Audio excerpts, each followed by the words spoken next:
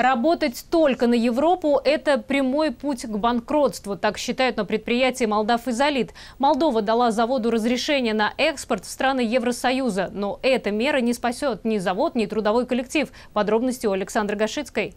Может показаться, что завод наконец-то снова заработал, но на самом деле здесь запустили только один из трех производственных цехов. На работу вышла малая часть коллектива. А, всего на Молдавизолите работает 600 человек, и большая часть по-прежнему находится в простое, то есть сидят дома без работы. Чтобы выполнить все европейские заказы Молдав Изолиту, нужно работать на треть мощностей, всего 5-7 дней в месяц. А это значит, что решение Кишинева открыть для Молдавизолита Европу практически ничего в положении завода не меняет.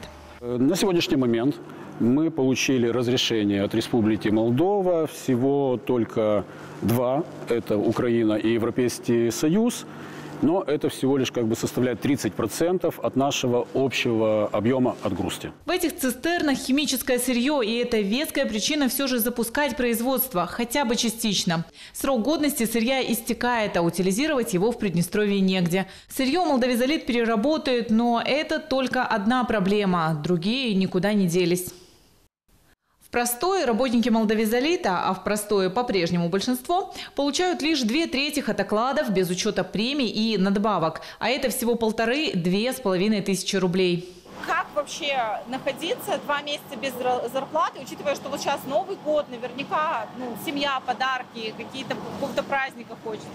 За подарки даже не думали, честно. Ты думаешь, как за квартиру заплатить, как прожить, просуществовать, потому что дети, кормить надо. Решение о том, разрешать или нет экспорт приднестровским предприятиям в Молдове принимает межведомственная профильная комиссия. Она решила, изделия, которые годами свободно выезжали за территорию Молдовы, на самом деле имеют не гражданское, а двойное, то есть и военное назначение. Это примеры продукции, которую производит Молдавизолит. Стекло, текстолиты и текстолиты. Они выглядят как э, вот такие листы. И эти листы нужны для того, чтобы изолировать электричество во все возможных э, электроприборах, начиная от бытовых, да, например, пылесосы, утюги и заканчивая трансформаторными будками и огромными подстанциями. Наша продукция по физико-механическим свойствам не относится к товарам стратегического или двойного назначения. Также она не входит в перечень э, санкционный Европейского Союза и Соединенных Штатов Америки. Мы э, ну, неоднократно предлагали компетентным органам Республики Молдова, также и комиссии, которая выдает разрешение, посетить наши предприятия с целью ознакомления ну, с производственным процессом и с характеристиками готовой продукции. Ольга – старший мастер одного из цехов Молдовизолита, она же и председатель профсоюза. Каждый день ей приходится объяснять работникам, что решение о запуске завода все еще не принято и нужно еще немного потерпеть.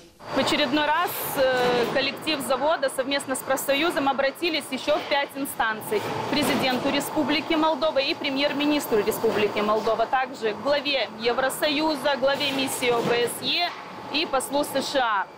Мы просим помочь нам в решении вопроса разблокировки продукции завода и дать возможность людям мирно существовать и работать дома, не искать заработки в других странах. Пока в Молдове строят планы на евроинтеграцию и провозглашают приверженность европейским ценностям, правам и свободам, а действия Кишинева страдают больше тысячи приднестровцев, уникальных специалистов, которые ждут, когда же Молдавизолит, Электромаш и завод «Потенциал» наконец снова смогут полноценно работать.